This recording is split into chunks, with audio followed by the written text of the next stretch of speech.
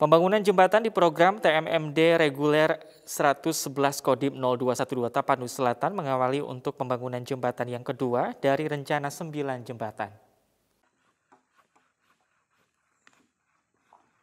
Dan Satgas TMMD 111 Kodim 0212 Tapanuli Selatan, Letkol Infanteri Roy Chandra Sihombing mengecek langsung lokasi pengerjaan pembukaan jalan baru di Desa Siuhom, Kecamatan Angkola, Sangkunur yang sudah mencapai 60 persen.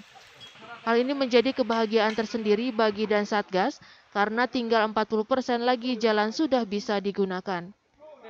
Dirinya berharap jalan nanti dapat membawa berkah bagi warga desa dalam upaya meningkatkan perekonomian mereka sehingga menjadi desa yang tangguh dan mandiri. 0212 Tapanuli Selatan merencanakan pembangunan jembatan ada 9 jembatan.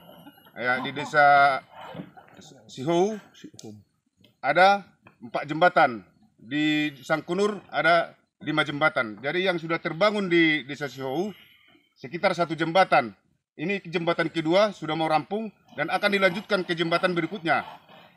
Selanjutnya rencana sampai penutupan, jembatan ini seluruhnya akan terbangun sesuai dengan target dari Satgas Kodim 0212 Tapanuli Selatan. Tim Liputan, Bandung TV.